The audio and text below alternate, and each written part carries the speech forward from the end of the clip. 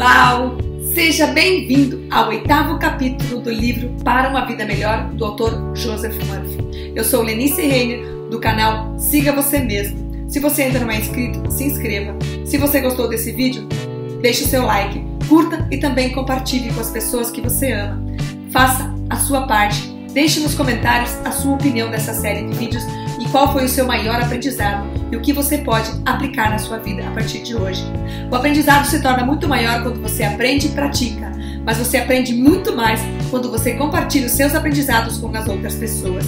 Ajude as pessoas aquilo que elas precisam e desta forma você irá transformar a sua vida conseguindo mudar o pensamento. Mudando o pensamento, você muda o sentimento e dessa forma o resultado. Vem comigo para o audiolivro do oitavo capítulo e transforme a sua vida conectando-se com a sua essência. Sou muito feliz e agradecida por você estar acompanhando esta jornada deste maravilhoso livro e dos ensinamentos magníficos deixados pelo autor. Seja bem-vindo ao mundo mágico onde tudo começa. Se você ainda não é inscrito no nosso canal, convido você para estar se inscrevendo agora mesmo. Ative o sininho para receber a notificação do próximo capítulo. Então vem comigo para a jornada de hoje. Como entrar em contato com o infinito e como fazer a percepção extrasensorial trabalhar por você.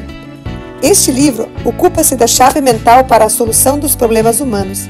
Descobri que as respostas para os problemas mais embaraçosos que preocupam o homem vêm de dentro do domínio da mente subconsciente. Quando menino, com cerca de 9 anos, passei a me interessar profundamente pela elevada função da mente e maravilhei-me com o que agora denomino poderes intuitivos e psíquicos que solucionam problemas de fazendeiros habitantes de remotas regiões de nosso interior. A percepção extrasensorial ajuda na descoberta de um filho perdido. Um fazendeiro, que chamaremos de Jerry, morava em um quarto de milha de mim. Em minha adolescência, costumava visitá-lo nos campos e sentia certa alegria em ajudá-lo nas inúmeras maneiras. Um dia, seu filho desapareceu. Chegou a noite e nada do menino. Jerry ficou profundamente confuso e amargurado.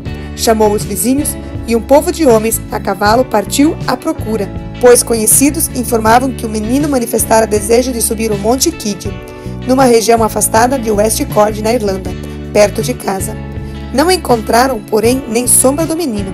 Veio a noite e eles tiveram que interromper as buscas. Durante a noite, em seu sono, meu infeliz vizinho teve um sonho pela percepção extrasensorial, sentiu onde o menino se encontrava. O local lhe era familiar e ele pôde ver o menino próximo a uma certa rocha protegida por arbustos. Assim, ao raiar do dia, montou seu jumento e lá foi até o ponto da montanha que vislumbrara no sonho. Amarrou o jumento e subiu a pé até o local exato, encontrando o garoto dormindo sob os arbustos.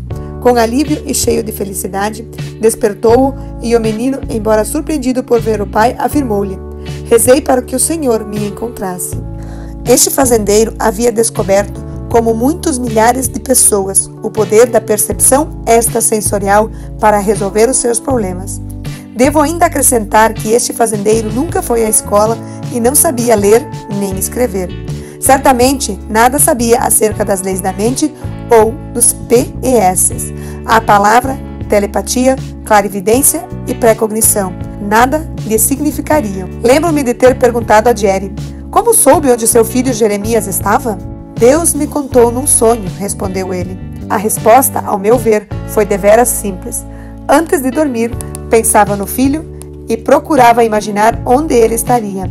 Provavelmente rezou na sua maneira simples a Deus, sua mente subconsciente revelou-lhe então a resposta sob forma de clarividente de uma visão. Você pode usar a percepção extrasensorial. Já conversei com centenas de pessoas que me informaram haver recebido dados e informações específicas impossíveis de receber através de canais normais dos cinco sentidos. Em todos os casos, concentraram-se nas respostas e sua mente mais profunda respondeu-lhe por meio de sonhos e visões noturnas e em relances intuitivos. Como uma mulher tomou conhecimento de sua percepção extrasensorial? Anos atrás, uma senhora de nome Jane White, um nome fictício, acompanhada do marido e visitantes, foi assistir a uma corrida de cavalos em água caliente. Por esta época, não lhe interessavam em absoluto experiências paranormais ou psíquicas ou mesmo as atividades da sua mente interior. À noite, antes de dormir, pensava nas corridas e no traje que usaria e quando começou a refletir que nunca tinha assistido a uma corrida em toda a sua vida e que nada entendia de cavalos, jockeys ou mesmo de apostas. Antes de dormir, disse para si mesma: Bem que gostaria de saber o que fazer e de ganhar uma dupla, pois só vou jogar 4 dólares, dois em cada duas corridas. Ela é muito intuitiva e médica e sonha com muitos acontecimentos futuros. Naquela noite, viu dois cavalos chamados Robin, Joyce e Billy Friend como os ganhadores. Intuitivamente sentiu que iriam ganhar a corrida. Os nomes dos seus dois filhos são Robin e Billy. Ao chegar ao hipódromo, na manhã seguinte, ela perguntou ao seu esposo como deveria jogar e ele lhe ensinou. Ela apostou seu dinheiro nos dois cavalos, Robbie Joyce e Billy Fright, que foram os ganhadores. Sua mente subconsciente, fonte de toda percepção extrasensorial, respondeu ao seu pensamento concentrado antes de dormir. A atenção presa nos dois ganhadores impregnou a mente subconsciente que logo respondeu mostrando-lhes os dois ganhadores, pelos quais perguntara sem maiores intenções e sem esforço ou tensão mental. A percepção extrasensorial em ação. Uma das primeiras pesquisas do estudo dos fenômenos extrasensoriais foi levada ao efeito pelo professor J.B. Rine, na Universidade de Duke. O professor Rine publicou vários livros sobre o tema e realizou conferências sobre o assunto em muitos países e perante assembleias de cientistas. Reuniu bom material, devidamente autenticado e documentado, sobre o extraordinário poder da mente. Seu principal interesse repousa na clarividência, a percepção, sem o emprego dos sentidos normais, de que acontece em qualquer parte do mundo, desta forma, permitindo que se veja com clareza tais acontecimentos. Ele também trabalhou intensamente sobre a precognição, a visão dos acontecimentos futuros antes da sua ocorrência, a telepatia, a transferência de pensamento de uma mente para outra, a telecinesia, a ação de sua mente sobre os objetos ou materiais externos sem qualquer contato físico. A retrocognição, habilidade de ver o passado. Interessante é ler-se acerca de laboratórios acadêmicos nos Estados Unidos, na Europa e na Índia, que utilizaram o sistema de trabalho com aparelhamento de laboratório sobre estudos científicos que há muitíssimos anos que estabeleceram o fato de existirem em todos nós essas faculdades de percepção extrasensorial, mas que elas também seguem certas leis básicas de ação mental.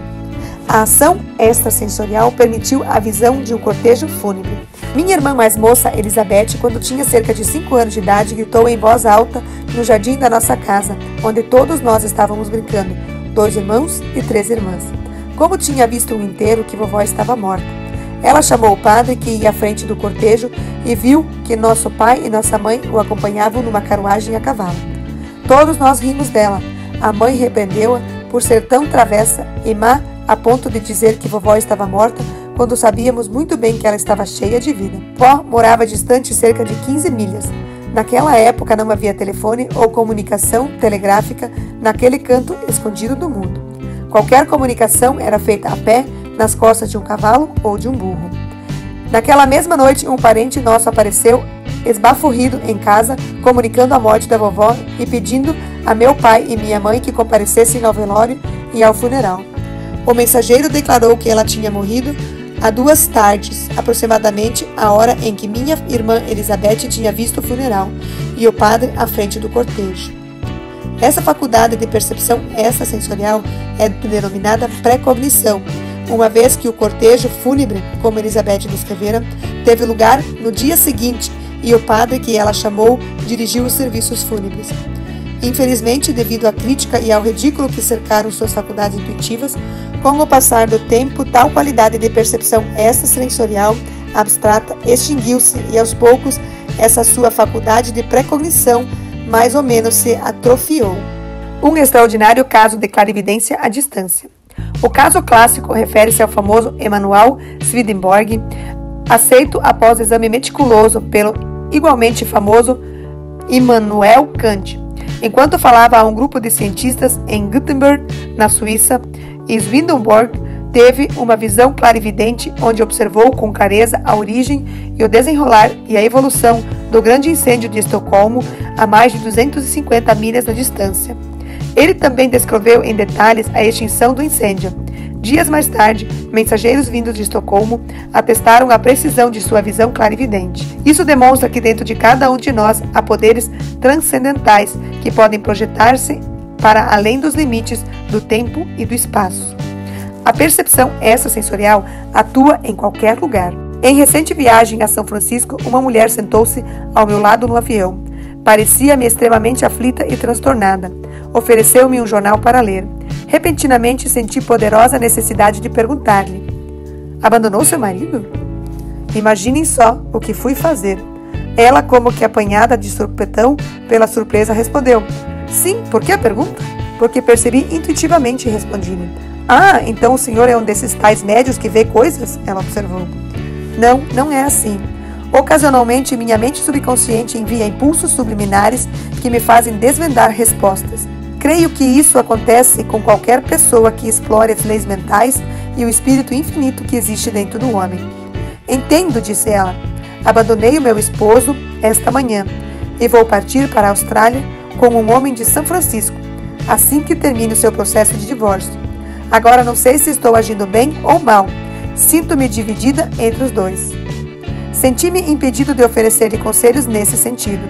Sugeri-lhes que o seu desejo era encontrar realmente o homem ideal que a amasse, olhasse para ela e a apreciasse, e que esse amor teria que ser mútuo. Você deseja um homem com quem se harmonize perfeitamente, intelectualmente, espiritualmente e de todas as formas? Você se sente agora confusa e ressentida com relação ao atual marido? Tolice tomar uma decisão sob emoção tão negativa. Escrevi-lhe uma oração e disse-lhe para usá-la e orientá-la pela resposta que lhe sugeria nos próximos dias. Aconselhei-a também a evitar qualquer contato com o homem com quem se pretendia casar e que apenas esperasse pela orientação que viria de dentro de si mesma. A oração que ela aplicou. Sei que há um princípio de ação certa na vida. Sei que o princípio da vida, em mim, procura expressar harmoniosamente, pacífica e alegremente. Afirmo de toda forma incisiva que a suprema inteligência que guia os cosmos e governa os planetas e suas trajetórias responde-me e guia-me no sentido de tomar a decisão ideal. Estou agora reformulando essa ideia ou fazendo um pedido a mais profundamente dentro de mim, e onde mora a suprema inteligência, e sigo a orientação que me penetrar de forma clara e definitiva na mente consciente é razoável. Ela reiterou com frequência essa prece durante o dia, principalmente antes de dormir.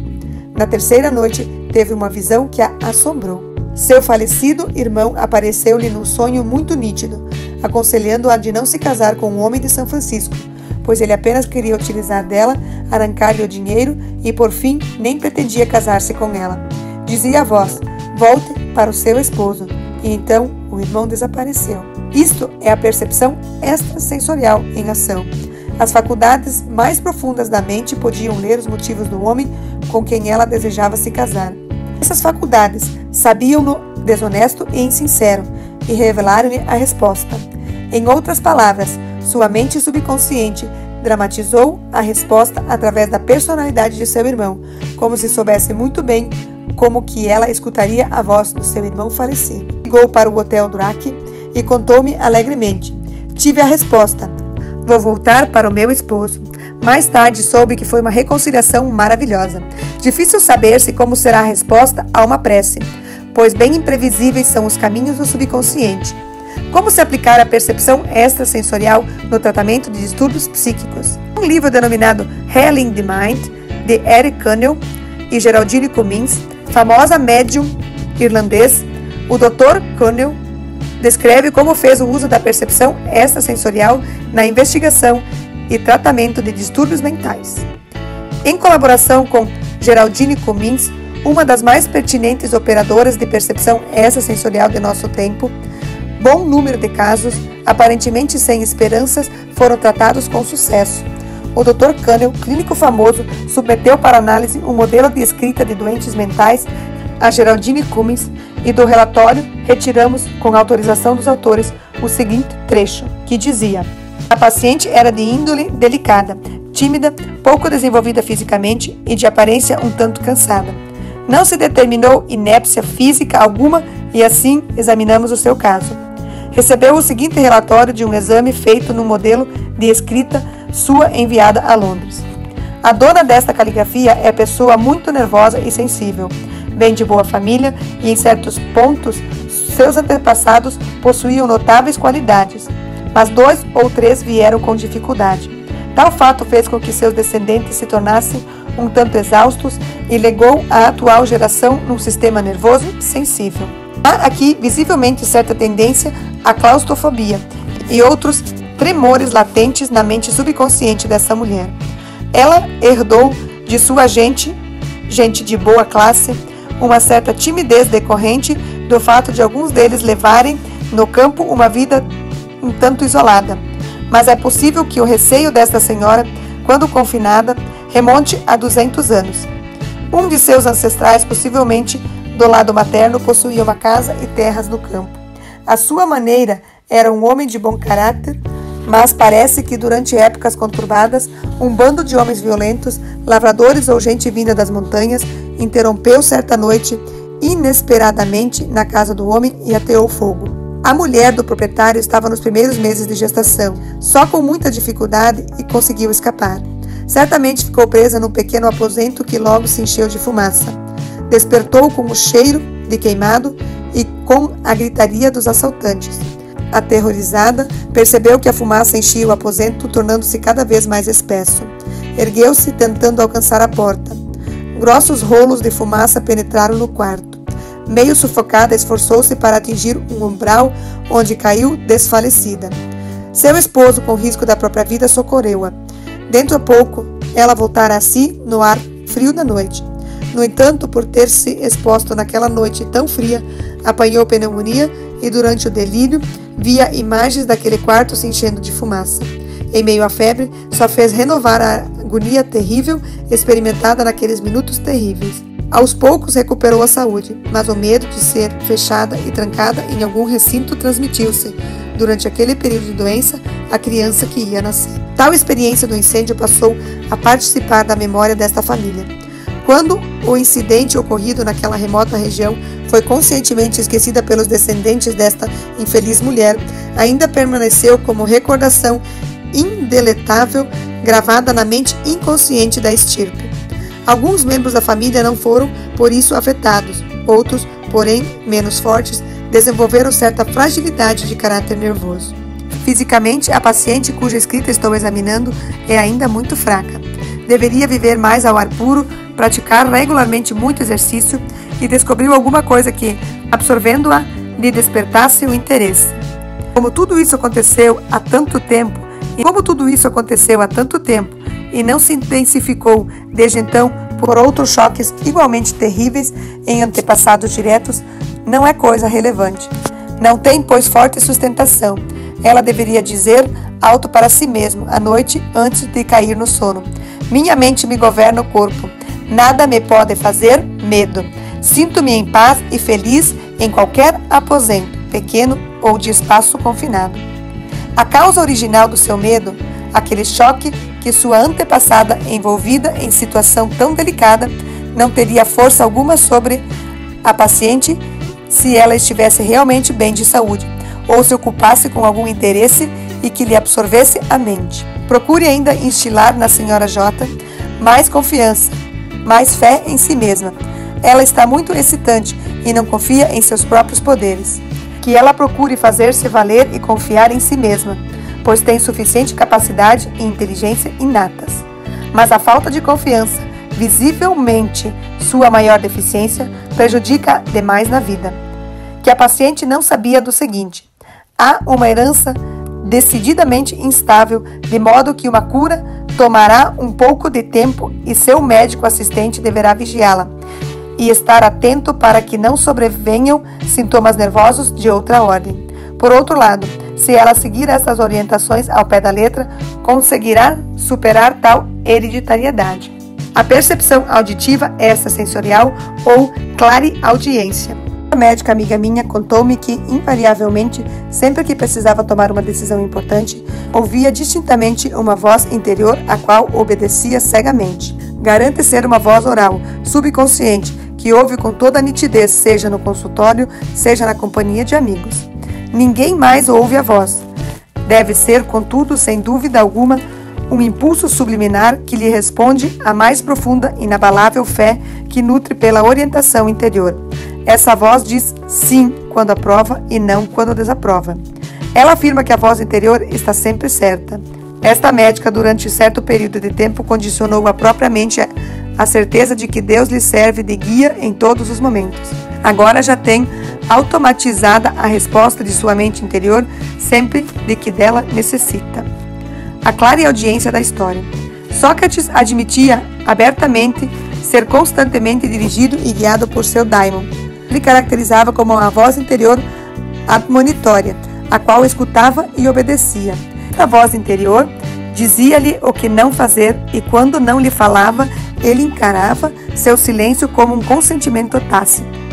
Nos diálogos de Platão, lemos que Daimon, ou uma voz intuitiva, dava a Sócrates extraordinário conhecimento que lhe suplantava os cinco sentidos. Outro exemplo extraordinário de clara audiência é o de Joana d'Arc, a notável heroína mística da França. A história informava-nos que ela dependia completamente das mensagens diretas ou vozes de sua mente subconsciente.